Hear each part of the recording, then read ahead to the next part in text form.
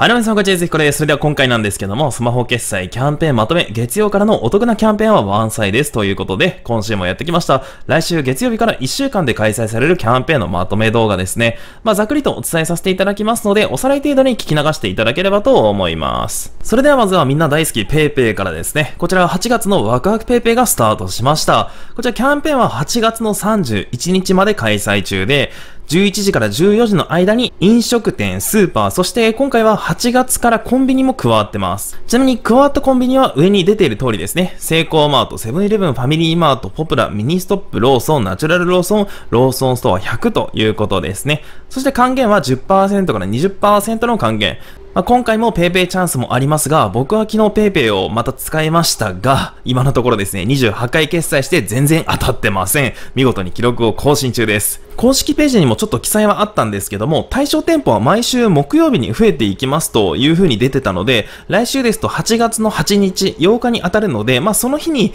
ご自身のお住まいの地域のお店が対象店舗になる可能性もあるかもしれないので、まあチェックするのもいいと思います。次にメルペイですね。今回はメルペイはもう見事にぶっ飛んでるキャンペーンが開催中です。で、期間は8月の11日まで。で、還元は50%から70%の還元。で、還元上限は1500ポイントまで。あと、本人確認や後払いでの決済が必須となってます。で、ポイント付与は翌日ということですね。まあ僕は初日に綺麗に上限額まで達しました。まあ、これはかなりお得なキャンペーンとなっていますので、もし何かお買い物する予定などがあって、そのお店が ID 決済やメルペイのコード決済に対応していれば、今回のキャンペーンを利用してみるのもいいと思います。次に楽天ペイですね。こちら楽天ペイに楽天カードを設定したら、期間中実質最大5%還元のキャンペーンの第2弾が開催中ということですね。期間は9月の30日まで開催中で、専用ページでエントリーが必須となってます。そして対象店舗では10%還元などを行ってまして、まあ、例えば東急ハンズや杉薬局などということですね。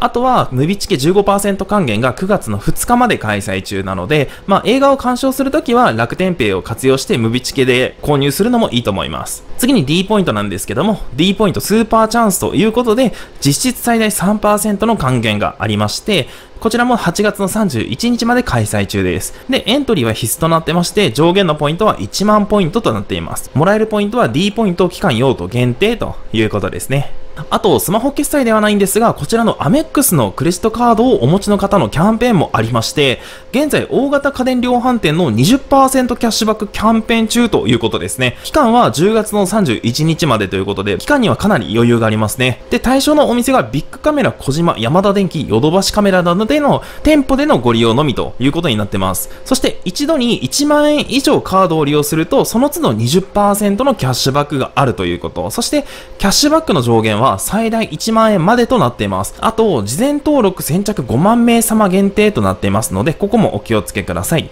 ちなみにキャンペーンに関しては、まあ、人によってはお知らせが来ていたりですとか、来ていなかったりするので、まあ、ご自身のアメックスのアプリとか、あとウェブページで見てみるのもいいと思います。まあ、僕はそんなにアメックスの利用頻度は多くないんですけども、今回のお知らせが来ていたので、まあ、ちょっとラッキーだなというふうにも思いました。そうしましたら最後のまとめですね。8月5日から8月の11日の間に開催されるキャンペーンのまとめなんですけども、PayPay が10%から20%還元、メルペイが50%から70%還元、楽天ペイが5%から10%還元、D ポイントは3%還元。先ほどの説明には含めてなかったんですけども、8月の7日までが有効期限のオリガインペイのウェルシア薬局で使える50%オフのクーポンも出ています。そしてアメックスの家電20%キャッシュバックのキャンペーンということでした。それぞれの詳細に関しては必ず公式ページのご確認をお願いいたします。いやーもう来週から本当お見事ですね。外の気温は日に日に暑くなってますが、まあキャッシュレスのキャンペーンも負けじとめちゃくちゃ暑いです。まあそんなこんなで熱中症には気をつけてまた月曜日からも頑張っていきましょうということで本日の動画は以上です。ご視聴どうもありがとうございました。